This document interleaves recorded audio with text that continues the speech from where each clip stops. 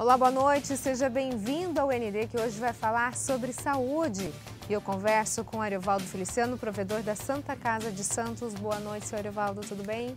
Boa noite, Roberta, telespectadores do Notícias em Debate.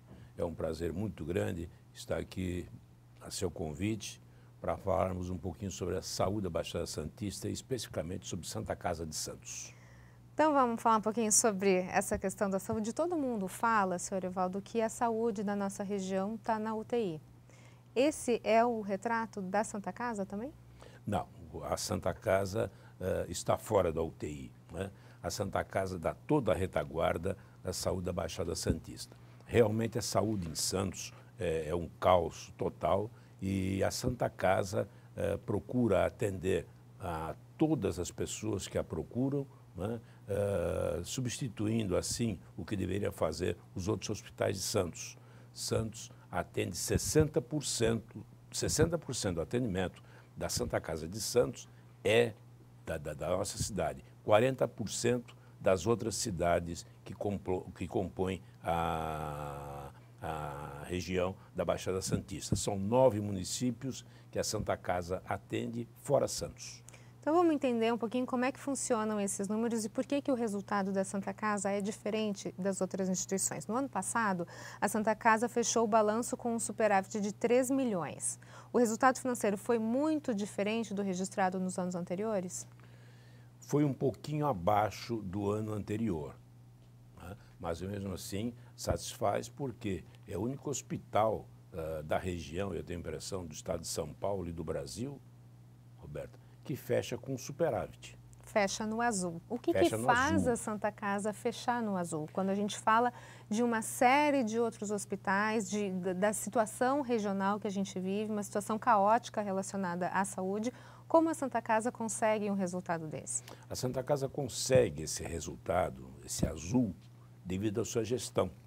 É uma gestão, né, eu sou suspeito para falar isso porque eu sou o presidente do hospital, mas é uma gestão competente, né?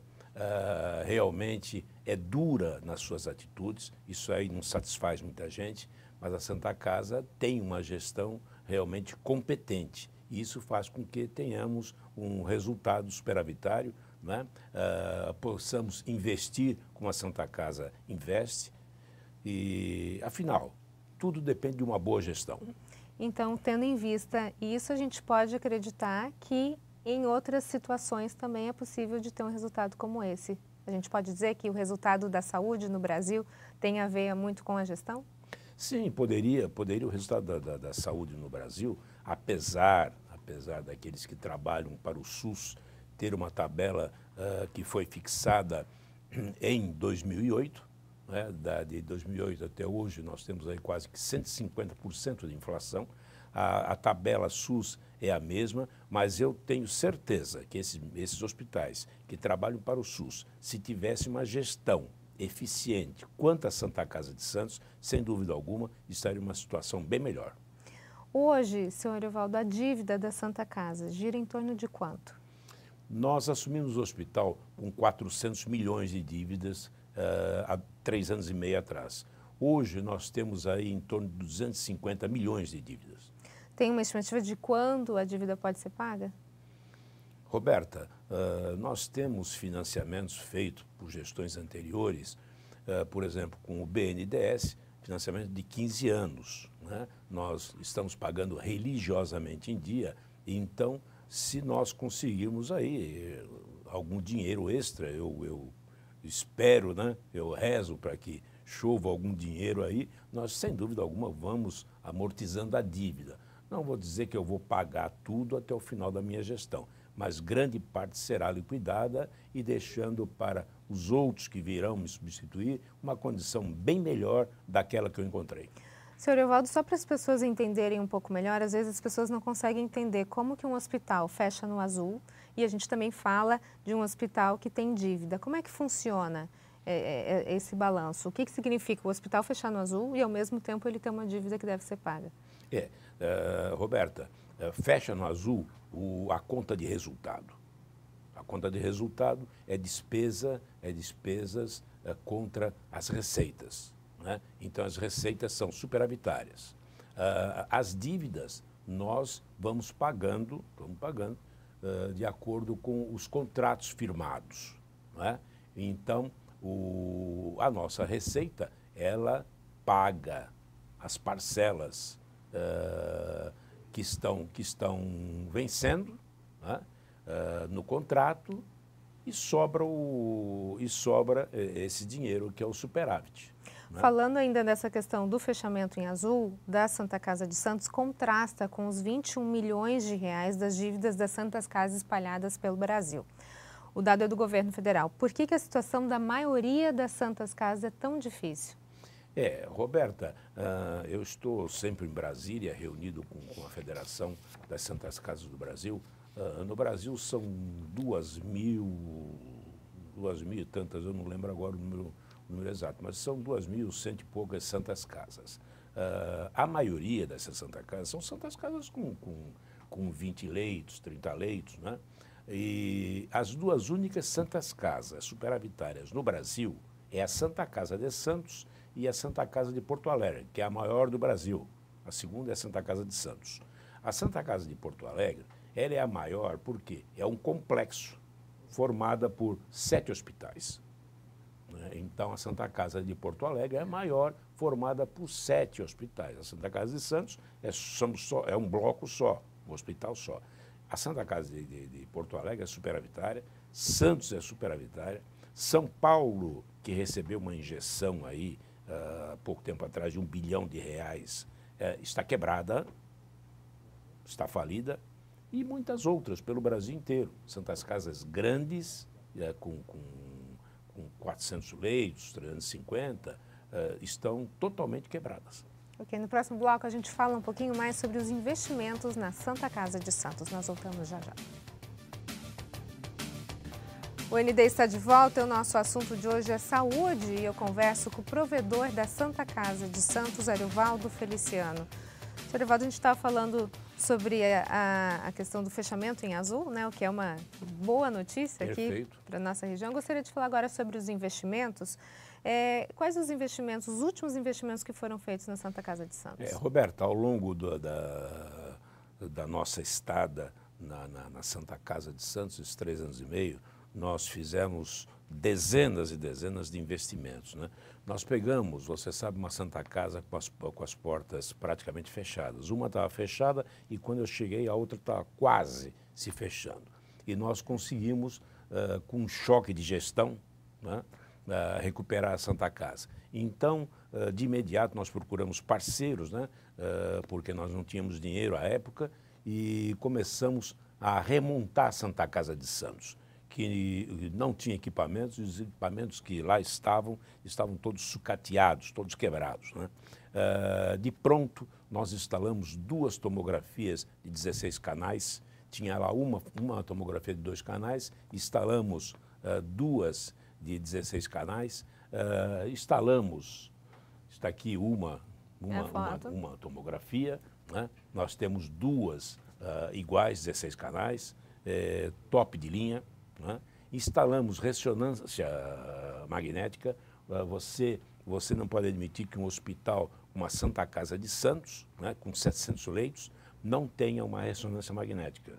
De imediato, nós instalamos também, última geração, Sim. certo? Uh, fizemos diversas outras melhorias, centro de imagem, UTI pediátrica, enfim, uma série de investimentos. Esses aqui são leitos novos? Aqui são, é, inauguramos há um mês e meio atrás, mais ou menos, são 10 UTIs novas. Somadas às 90 que nós tínhamos, hoje nós temos 100 UTIs, sendo 10, 12 pediátricas. Bastante coisa. Houve alguma novidade em relação à capacitação dos funcionários? Sim, nós investimos na, na capacitação dos nossos funcionários uh, quase que diariamente. Né? Aprendizado, enfim, hoje a Santa Casa no atendimento é completamente diferente de três anos e meio atrás. Hoje, quem vai à Santa Casa sente que os funcionários têm capacidade para atender a todas as demandas que aparecem na Santa Casa, e não são poucas, são muitas. Há alguma especialidade no hospital nova, alguma novidade em relação a, a, a especialidades? Roberta, a Santa Casa, ela atende a todas as especialidades, todas, todas, todas.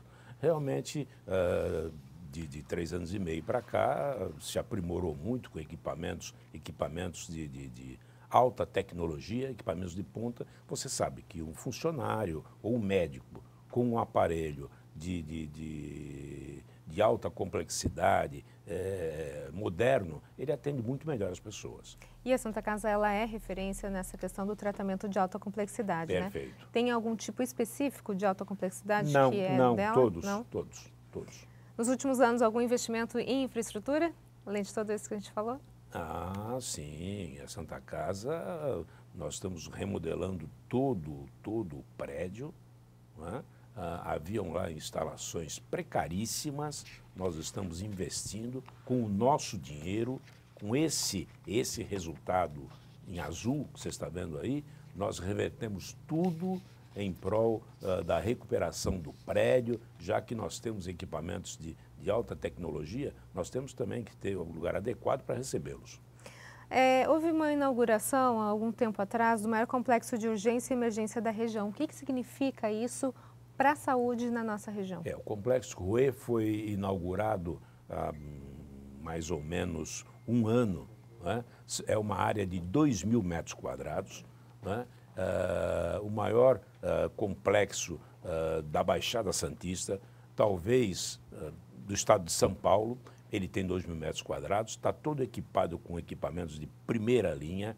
Veja, a ambulância, o SAMU, ele entra ali do lado do campo da Portuguesa. Né? Ele entra, estaciona de ré, o paciente é pego ali, é levado ali para o complexo. Ele não entra na Santa Casa, porque o complexo ele é dotado de todos os equipamentos necessários para o médico fazer uma avaliação. Né? Se houver necessidade desse paciente de uma operação, alguma coisa mais, se for uma coisa mais grave, ele vai para dentro da Santa Casa para ser atendido. Senão, ele é atendido ali, é internado ali. Nós temos ali oito gabinetes para médicos, né? Uh, raio-X, se um dia que se você quiser me dar o prazer de visitar, uh, raio-X é lindo.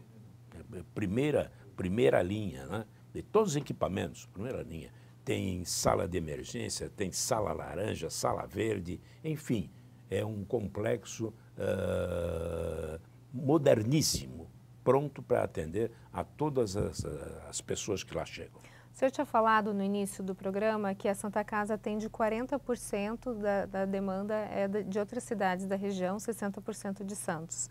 Essa, esse complexo de urgência e emergência é suficiente para atender a demanda regional ou a gente ainda precisa de alguns outros projetos relacionados à urgência e emergência a curto e médio prazo? Eu tenho a impressão que a, a médio prazo nós vamos precisar de mais, de mais espaço para atender essa demanda toda, porque, veja, Roberta, é toda a Baixada Santista em cima da Santa Casa. Né? Então, aquilo você pode imaginar lotado o dia inteiro. Sim. É o dia inteiro lotado. Todas as, os, uh, as ambulâncias do SAMU se dirigem para a Santa Casa. Né? E nós, por enquanto, estamos dando conta do recado. Né?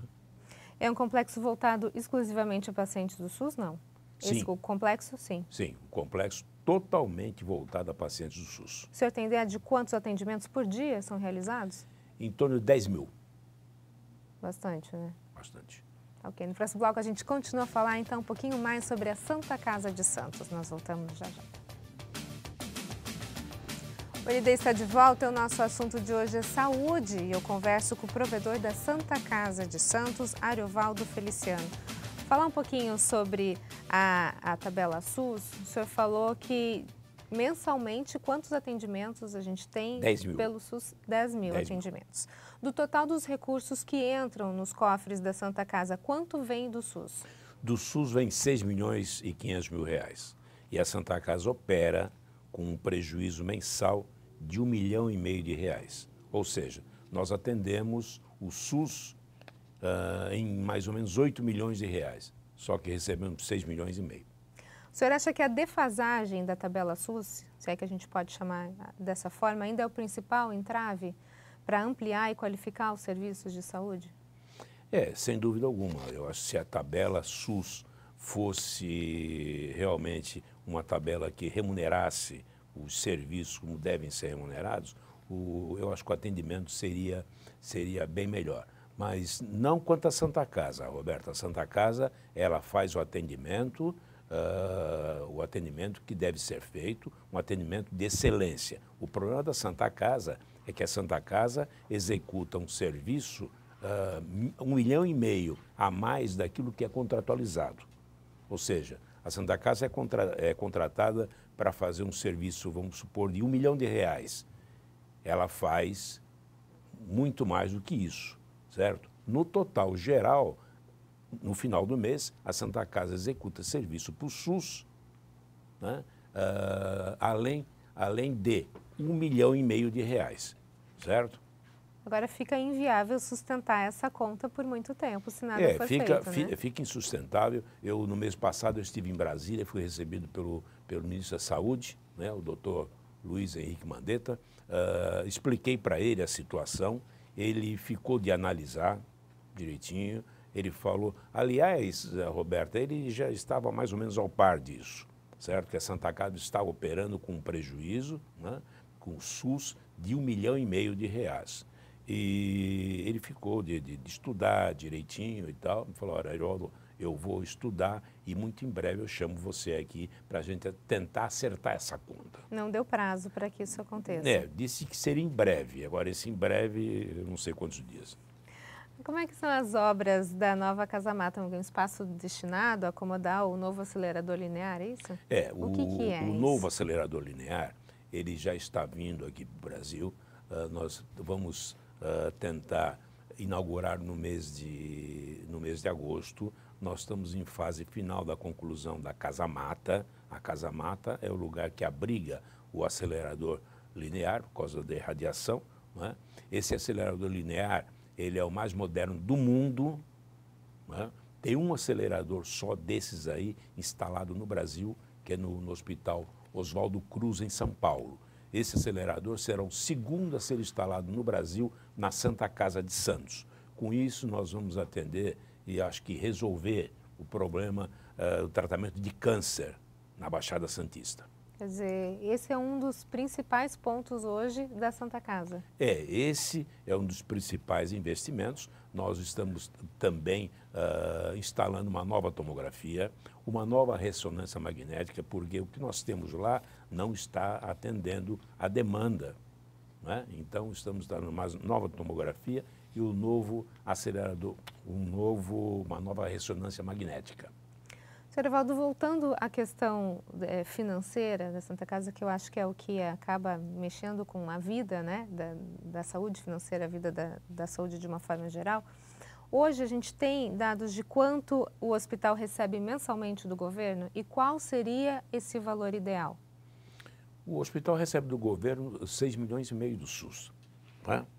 Não recebe mais nada. Veja bem, Roberta, a Santa Casa é uma entidade particular.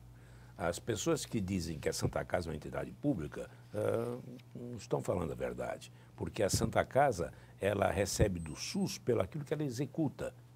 Aliás, eu falei agora, um minuto atrás, que esse atendimento, atendimento é deficitário em um milhão e meio de reais. Se a Santa Casa não fizer nada pelo SUS, ela também não recebe nada. Ou seja, ela recebe pelo, pela prestação de serviços que ela faz. O SUS toma os serviços da Santa Casa e faz o pagamento. Não dá um tostão a mais para a Santa Casa. Então, a Santa Casa é uma entidade particular porque ela vive dos seus próprios recursos. O senhor acha que se nada for feito, o SUS ele pode entrar num processo de falência estrutural, da forma como ele vem sendo levado hoje? Ah, Roberto, eu acho que a saúde no Brasil está falida. Né? Se você vê aí o noticiário, no Rio de Janeiro, então, é vergonhoso. E outros hospitais aí, Minas Gerais, né? é, é, vergonhoso. E o que segura, o que segura a, a saúde na Baixada Santista? É a Santa Casa de Santos.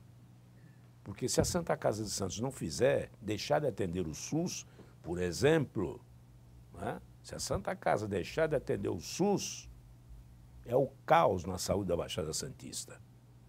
Então, nós estamos aturando esse prejuízo, Roberto, sabe? Eu deixei bem claro para o ministro, nós estamos suportando esse prejuízo até que ele não venha abalar as finanças da Santa Casa de Santos.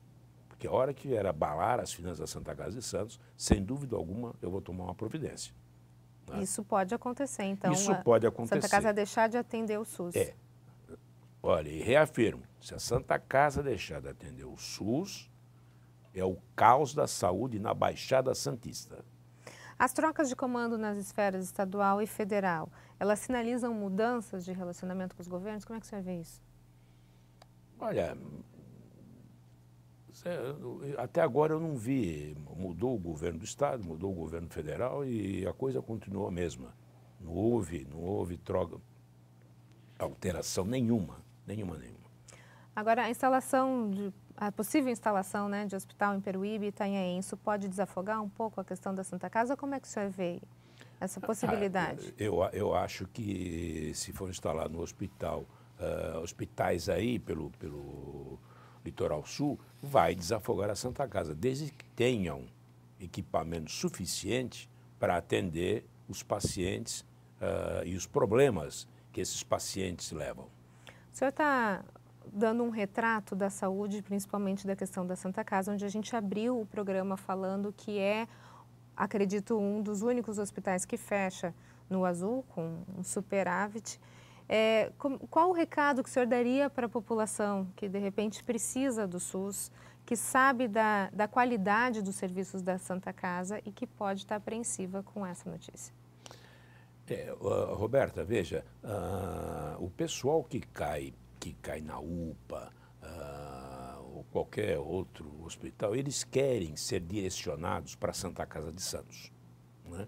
Nós atendemos Santa Casa atende inúmeros pedidos de pessoas que estão com problemas, problemas graves, e vão para a UPA e não têm atendimento nenhum. São esquecidos dentro da UPA né? E que pedem para ser direcionados para a Santa Casa de Santos. Eu acho que se a cidade não procurar investimentos para o SUS, realmente a coisa tende a piorar a piorar. Veja bem, Roberta, uh, noticiário da semana passada nos, no, nos jornais, você deve ter visto que foram buscar 44 milhões, não sei para quem, né, mais 60 milhões para o outro, para atender isso, isso e aquilo. Enfim, eu vou falar em nomes, o Hospital dos Estivadores recebe 10 milhões de reais por mês para atender o SUS. O outro lá, o Hospital Irmã Dulce, recebe outro tanto para atender o SUS. No fim, cai tudo dentro da Santa Casa de Santos. Né? Que o Hospital dos Estivadores tem lá meia dúzia de leitos, o outro não tem nada e vem tudo para Santa Casa Continua de Santos, que não recebe né? nada. Senhor Evaldo, muito obrigada pela sua participação. Infelizmente, o nosso tempo encerrou, mas a gente, eu convido o senhor para voltar aqui para a gente continuar o nosso bate-papo sobre saúde e sobre a importância dessa instituição para a nossa região. Muito obrigada. Tá bom. Obrigado, Roberta, pelo seu convite e estou à inteira disposição. Muito obrigada, Anide. Fica por aqui. Uma ótima noite para você. Fique agora com o Jornal da Band. Até mais.